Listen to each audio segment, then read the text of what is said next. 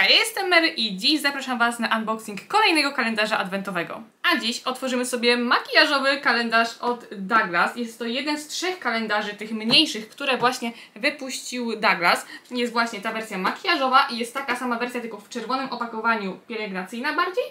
I jest jeszcze jedna wersja taka bardziej premium, gdzie mamy szufladki, przynajmniej tak to wygląda. Więc e, wybrałam sobie ten, bo tak jak podejrzewam zawartość, to wydaje mi się, że ten będzie właśnie najfajniejszy.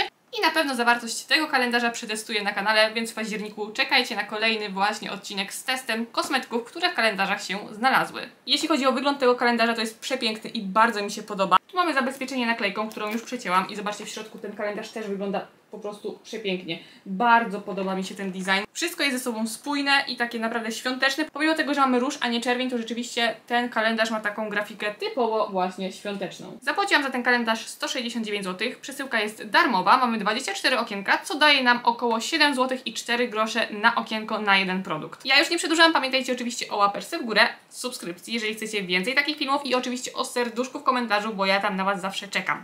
Nie przedłużam, otwieramy. Do zamówienia dostałam jeszcze takie trzy gratisy. To jest próbka jedna z dwóch, które można wybrać po prostu do zamówień w Douglasie. Tutaj co prawda wybrałam sobie podkład, ale dostałam szampon. Drugiej nie wybierałam, bo nie było nic ciekawego, ale i tak dostałam co innego. A to są dwie miniaturki, które dostałam po prostu do tego kalendarza dodatkowo. E, I tutaj mamy właśnie taki tonik ma być rozświetlający z witaminą C i z niacinamidem od Douglas Collection i tu jeszcze taki miniaturowy krem do rąk, przepięknie pachnie.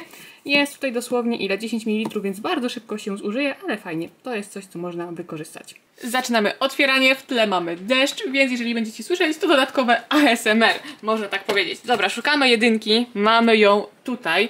Wydaje mi się, że będziecie widzieć wszystkie okienka i zaraz zobaczymy, co pod tą jedynką się kryje. Zawsze mam tak, że chciałabym to bardzo ładnie otwierać, ale no cóż. Ostatnio otwierałam głównie kalendarze, które miały pudełeczka, więc coś innego. Dobra, jednak to się otwiera w tę stronę, jako drzwiczki, a nie tak po prostu do góry. I mamy tutaj jakąś pomadkę na dzień dobry. Tak to wygląda przynajmniej. Ojej. A, nie, to nie będzie pomadka. Bo, a nie, jednak pomadka. Strasznie to takie lekkie było, zobaczcie. Tak wygląda ta pomadka. Okej. Okay coś takiego w kolorze nude, bardziej wpadający w brąz. Ładnie to wygląda, podoba mi się. Ale cóż to mamy za pomadkę? Hmm, hmm, hmm. Powiem wam, że nie mogę tej pomadki znaleźć na stronie Douglasa. Jest to Satin Kiss Nude Beige. Tak lekkiej pomadki to jeszcze w rękach nie miałam. Dziwna sprawa. Podejrzewam, że chodzi o to opakowanie, że jest z jakiegoś takiego lekkiego tworzywa. Tak to wygląda. Myślę, że na razie na plus. Ale biorąc pod uwagę, że okienko kosztuje 7 zł, 7 zł 4 grosze, to myślę, że tutaj możemy dać plus, bo odcień jest bardzo ładny i taki użytkowy i nie jest to czerwień. Szukamy wspólnie numeru 2 i jest on obok, także dużo szukania nie było tak naprawdę. E, I zaraz zobaczymy, co tutaj mamy, jak tutaj się do tego e, dostać. Hmm, hmm, zobaczmy. I mamy tutaj lakier. No powiem Wam, że tutaj no jestem nie za bardzo zadowolona. Jest to klasyczna czerwień, powiedzmy, że ok, ale lakier właśnie w makijażowym kalendarzu myślałam, że jednak tutaj będą produkty tylko do makijażu, także dałabym jednak tutaj minus. Dajcie znać, co wy myślicie. Zobaczmy, gdzie jest numer 3 i numer 3 jest tutaj. I cóż to jest? Bardzo takie okienko, powiedziałabym, że malutkie i ciężkie jest do otwierania. Zaraz zobaczymy, cóż to... O, okej, okay. pędzelek wzięłam sobie właśnie to coś do otwierania, tak jak w tamtym roku, dlatego że szkoda mi paznokci, po prostu. I mamy tutaj pędzelek, bardzo taki malutki pędzelek, krótki, więc powiedziałabym, że to są takie pędzelki podróżne, format podróżny. Bo właśnie zazwyczaj takie pędzelki podróżne e, mają krótszy ten trzonek. Myślę, że to nie przeszkadza w sumie. E, jest to taki pędzelek płaski, więc będzie ok do nakładania na przykład szminki albo do nakładania po prostu cieni na powiekę, takich na przykład błyszczących. Nimi się właśnie bardzo fajnie wtłacza brokat w bazę pod glittery, więc do tego Wam polecam. Myślę, że na plus. Czas na czwórkę i czwórka jest tutaj. I znowu mamy takie małe e, to okienko, więc podejrzewam, że tu może być znowu, znowu pędzel. Więc zaraz zobaczymy, czy rzeczywiście tak jest. I zobaczmy, o, jednak nie. jednak coś innego, kredka pewnie. Czy to będzie czarna kredka? Zaraz zobaczymy. Cóż to jest? Nie, lip liner, więc y, będzie to konturówka do ust. I jest to odcień 02, zaraz zobaczymy. Wygląda on w ten sposób, zobaczcie, bardzo ładny. Podoba mi się ten odcień, bardzo ładny. Zobaczymy, czy będzie pasował do tej szminki. Przetestujemy sobie trwałość w osobnym filmie. Jeśli chodzi właśnie o filmy z testami, to one będą się pojawiały w październiku. Tutaj mamy piątkę. E, a pierwszy taki odcinek pojawił się jeszcze w tym miesiącu. Jest on z testem trzech kosmetyków od Maybelline, które były w mniejszych kalendarzach od Maybelline, których też właśnie otwieranie, unboxing był na kanale, także Was zapraszam i do zobaczenia właśnie testu tych kosmetyków i do zobaczenia unboxingu, bo to są naprawdę bardzo fajne mm, kalendarze. A zobaczmy co mamy tutaj, bo to jest coś takiego, co nie mam pojęcia czym może być i ciężko to wyciągnąć. O, poszło, poszło. W ogóle mamy tutaj jeszcze na okienkach napisy. I tu mamy teraz na przykład napis A must have for a beautiful manicure. Ojejku. To znaczy, że to będą pilniczki. Chyba tak. Tak. Ja chyba to w ogóle źle otworzyłam, bo to było przyczepione taką zszywką i powinno się to otworzyć w ten sposób, więc już zepsułam. Ale mamy tutaj mini pilniczki, sztuk 6. Yy, ja z pilniczków w sumie nie korzystam, ale pomysłowe to jest, bo jednak możemy sobie odłączyć jeden i wrzucić na przykład do torebki. No powiedzmy, że jest to coś innego, ale ja uważam, że minus, szczególnie, że już to zepsułam. Więc e, no minus, minus. Czy pod szóstką będzie coś lepszego? Zobaczmy. O, jest szóstka i zobaczcie, jest duża. Więc jest szansa, że będzie coś super. Zaraz zobaczymy. Dajcie znać, czy też Wam się ta grafika podoba, ale no ja uważam, że jest po prostu przepiękna. Nie mogę się na nią napatrzeć. O, i to jest okienko na miarę Mikołajek. Zobaczcie, to tutaj nie będziemy narzekać. Mamy tutaj napis It's time to create wonderful looks, czyli czas na stworzenie przepięknych looków, makijażowych pewnie. Zobaczcie, bardzo ładne opakowanie. Plus za to, że na opakowaniu mamy świąteczny wzór. Ja jestem zachwycona takimi dodatkami właśnie. I mamy tutaj, jak widzicie, paletę cieni. I zobaczmy, wygląda ona w ten sposób.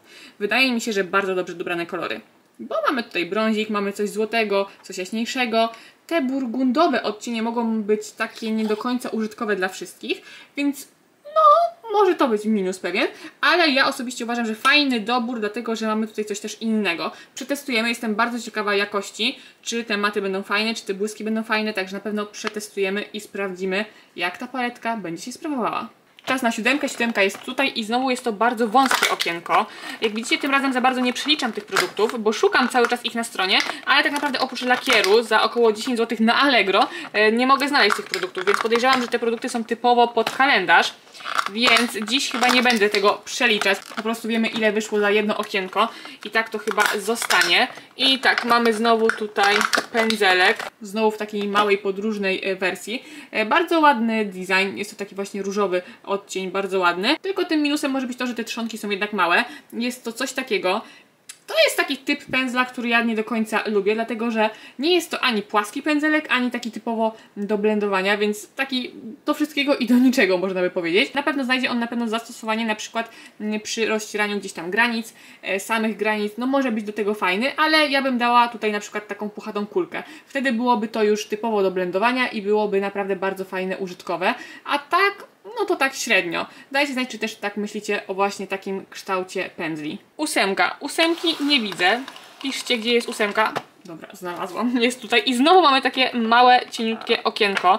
Więc e, hmm, trochę to jest powiedzmy może minus, bo jednak to są takie malutkie rzeczy. E, I tak, ciężko jest otworzyć ten kalendarz. To jest trochę minus, że nawet tutaj mając tego pomocnika do otwierania jest mi ciężko y, te mm, okienka otworzyć. Powiem Wam, że jakoś tak wydaje mi się, że coś tutaj jest nie tak troszeczkę z tym otwieraniem.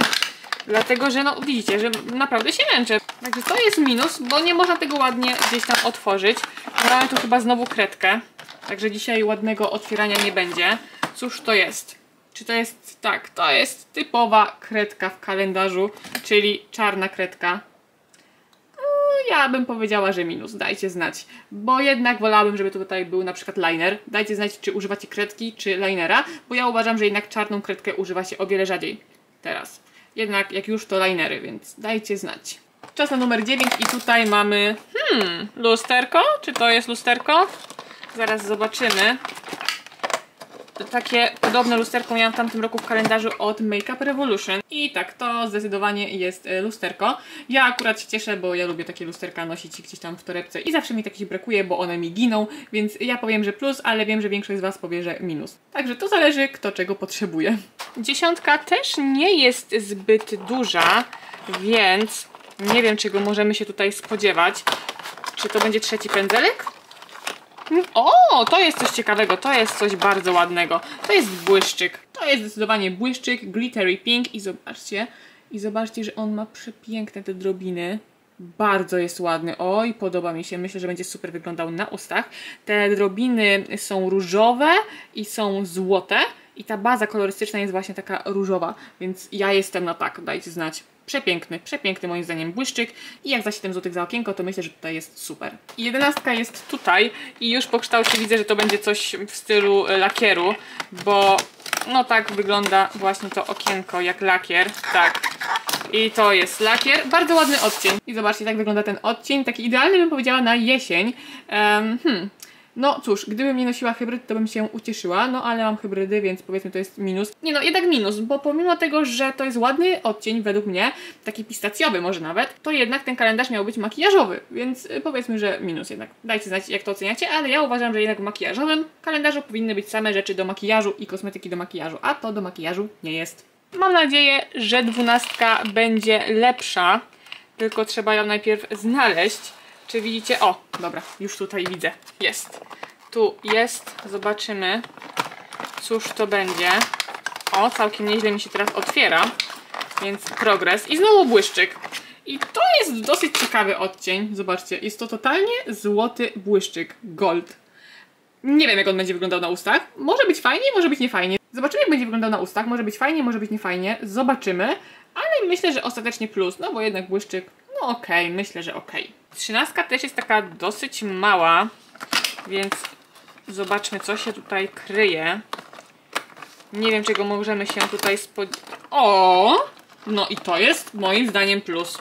To jest bardzo duży plus, bo jest to gąbeczka. Gąbeczka do makijażu, więc super rzecz, super akcesorium i bardzo taka fajna się wydaje. Nie jest jakaś super miękka, ale też nie jest super twarda, więc powinna być ok.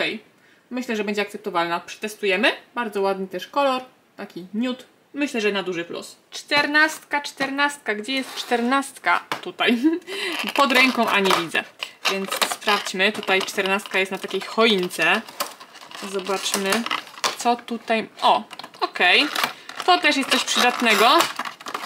Co prawda spodziewałem się tego bardziej może przy pielęgnacji, a nie przy makijażu, chociaż no do makijażu też się będzie łapało, bo jest to taka mała woda micelarna.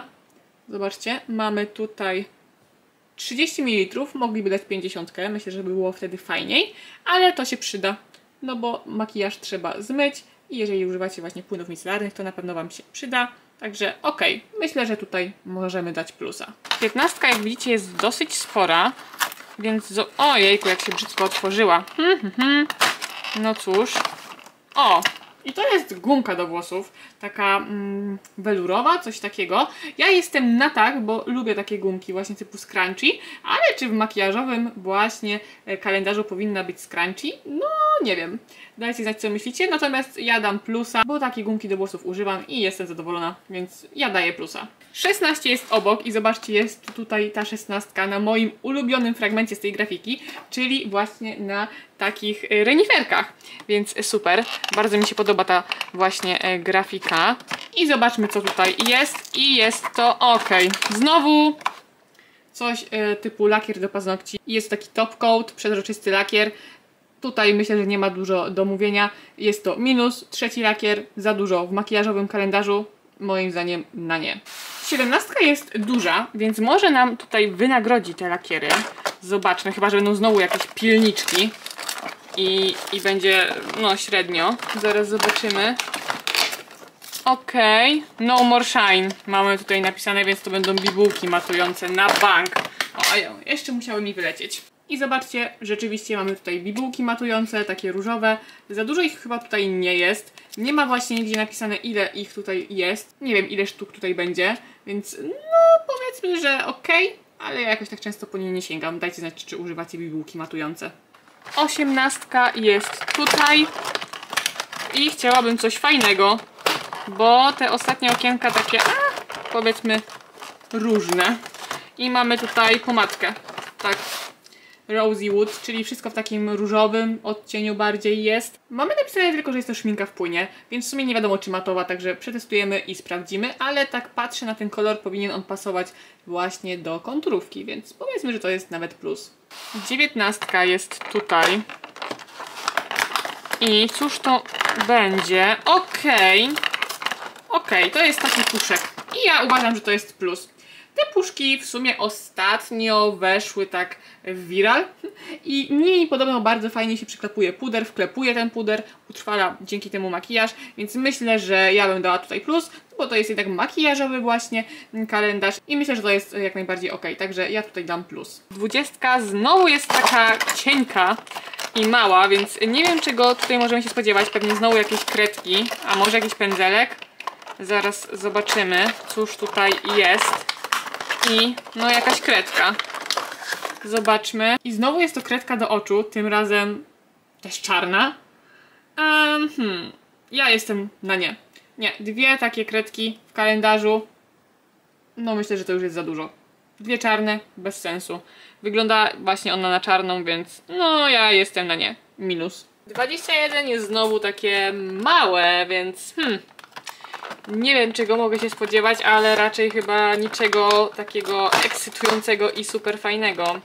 Więc no cóż. Jakoś tak trochę jestem zawiedziona chyba tym kalendarzem. Nie wiem, dajcie znać. No i tak. Hmm. Mamy tutaj coś takiego. Zobaczcie, taką spiralkę, tak to nazwijmy. I ja akurat będę tego używała do wyczesywania brwi mydełkiem do brwi. Ale ogólnie mam właśnie takie rzeczy do wyczesywania, więc e, no myślę, że to minus. Minus, nie no minus, bo nie każdy wyczesuje te brwi też. Mogliby dać po prostu inne te pędzle. Ja użyję, ale uważam, że powinno być tutaj coś innego, jeżeli chodzi o pędzle. Teraz czas na 22 i tak trochę entuzjazm mi, powiem wam, opadł. no ale cóż, Ostatnio te kalendarze były całkiem fajne, które otworzyłam. Też zamówiłam jeszcze jeden, który jest świetny, tak się wydaje przynajmniej. Ale będzie jego unboxing dopiero w następną niedzielę. Raczej. I teraz... O, udało się wyciągnąć. I jest to trzeci błyszczyk. Więc już chyba trochę, może za dużo. Zobaczcie, tak on wygląda. Ładny. Jest taki ma w sobie złote i różowe drobiny, tylko baza jest taka bardziej miedziana. Ładny jest. Podoba mi się. Zobaczymy na słoczach. Przedostatnie okienko, czyli 23 i ja już tu widzę, że będzie lakier znowu. Ajajaj. Ajajaj. Powiem wam średnio. Średnio w makijażowym, typowo makijażowym kalendarzu, bo nazywają go make-up. No to jednak trochę za dużo. Ale okej, okay, chyba to będzie coś fajnego akurat dla mnie bo to nie będzie taki typowy lakier. Ale zaraz sobie zobaczymy, czy to rzeczywiście jest to, o czym myślę. Nie mogę wyciągnąć. Udało się. I tak, to akurat będzie fajne, bo to jest oliwka do skórek. No tak uważam, że w kalendarzu makijażowym, typowo makijażowym, jeżeli tak jest nazwany, to nie powinno tego być, ale akurat ja używam, bo skórki mam dosyć suche, także używam regularnie, więc to jest akurat na plus. Ja tutaj daję na plus, bo akurat sobie zużyję z chęcią. I czas teraz na 24, czyli na ostatnie okienko, ale jakoś nie rzuca mi się w oczy. Dobra, jest tutaj, ale nie jest zbyt duże, więc yy, czy będzie ekscytujące? 25 powinna być fajna. Szóstka była super na Mikołajki, więc może coś będzie fajnego? Niech to będzie coś fajnego. O! Okej, okay, już rozwaliłam ten y, kalendarz, jak widzicie. I tu mamy na koniec tuż do rzęs. Więc myślę, że okej. Okay. Myślę, że to może być ok. Ma nam dawać y, objętość. W kalendarzu makijażowym jeden tusz. Super. Także uważam, że dobre okienko. Chociaż mogła być ta maskara na przykład na szóstkę, a na 24 właśnie ta paletka. Myślę, że byłoby fajniej, ale tutaj daję plus. I tak prezentuje się cała zawartość. Uważam, że nie jest źle, ale jest bez szału. I to jest chyba najgorszy z tych kalendarzy, które otwierałam, ale nadal jest ok myślę, że jest ok. Tutaj te produkty bardzo mi się podobają. Te produkty już może trochę jest ich za dużo. Jak zakryć to, to ten zestaw jest dla mnie bardzo satysfakcjonujący. Tutaj już mamy powtórki, jakieś lakiery, za dużo tego, więc yy, to bym powiedziała, że jest do wymiany, chociaż też nie, nie do końca, no bo zależy jak na to patrzeć. Nadal te odcienie mi się podobają. Ale no trochę tego dużo, dużo tych powtórek. Mógłby być tutaj jeszcze na przykład puder, no bo też patrzę na to, że to jest taki typowo makijażowy kalendarz, tak był nazwany, więc hmm. Na pewno na minus jest ta ilość lakierów, bo ich tutaj według mnie powinno nie być w ogóle. E, ale ten zestaw, zobaczcie, o ten, to bardzo mi się podoba. A jest lusterko też mi się podobało. Więc tutaj to jest naprawdę bardzo fajnie. Super, że jest ta gąbeczka. Ta paletka jest na mega plus. Ogólnie wydaje mi się, że w przeliczeniu to się opłaca, bo jednak 7 zł za okienko, to ta paletka by kosztowała no, też więcej. Więc ogólnie wydaje mi się, że jest ok. Nie byłabym jakaś super zawiedziona tym kalendarzem, ale w tej cenie mogą być już lepsze. Tak myślę. Dajcie znać, co myślicie. Na razie w rankingu ten kalendarz leci na sam dół, ale nie jest też jakimś bublem. Bardzo ładny jest też ten design, to też mnie kupuje. Więc y, z tej części jestem bardzo zadowolona. Tak to wygląda. Czekam na Wasze opinie, bo zawsze mnie ciekawią. I kolejny kalendarz mamy otworzony. Szału nie ma, ale tragedii też nie ma. Design nadal mi się niesamowicie podoba. Trochę minut, jeżeli chodzi o to otwieranie, bo tak super łatwo nie było. Ja teraz czekam na ten największy kalendarz Douglasa, na pewno będę chciała go też kupić. Tylko dajcie znać, czy go otworzyć, czy zostawić sobie na grudzień, bo w tym roku na pewno chcę go kupić. Może te kosmetyki nas jeszcze zaskoczą, tak jak Wam mówiłam, w październiku będzie ich na pewno test. Poddamy je próbie czasu i zobaczymy, jak to będzie wyglądało. Na ten moment moją opinię o tym kalendarzu znacie. Ja czekam na Was jak zawsze w komentarzach. Dziękuję Wam za oglądanie i widzimy się już niedługo. Pa!